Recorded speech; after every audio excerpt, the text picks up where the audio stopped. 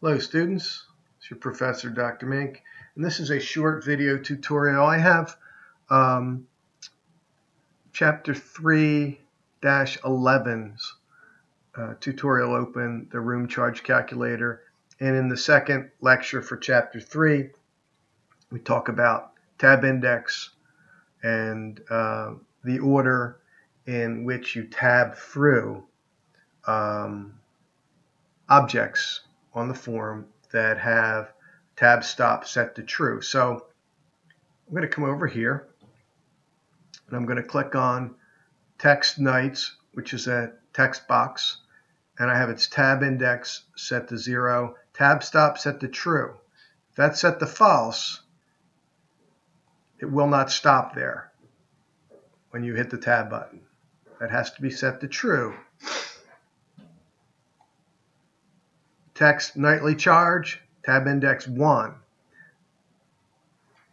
Text room service, tab index 0. What's going on here? Well, let me tell you why there are two zeros. These objects are in a group, group box 1, and its tab index is 34. These are in a group box and its tab index is 35.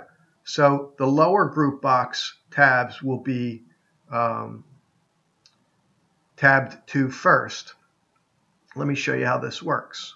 So I'll run the application and obviously zero comes up first, the tab index zero. I'm going to tap the tab key one time.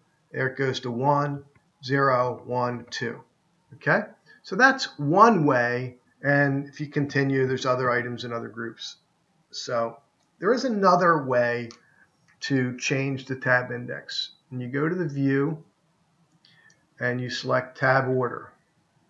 And you'll see group dot tab number. So this is group 34.0, 34.1, 35.0, 35.1, 35.2. These have tab stop uh, off. So they're not, there's, the tab is not going to stop at those. And you can click around. To be honest with you, I don't like doing it this way. It's not uh, as uh, concise as actually setting the order in the properties uh, in the properties window, but you can do it this way. I could I could go and I could change things. Um, yeah, check that check that to zero, and then check set that to one, and if I turn tab order off, I run the application. Let's run the last one. What's going on there? It starts now at nightly charge being zero and nights being one. Hope this was useful. Obviously, if you have any questions about um, tabbing, you know how to get hold of me.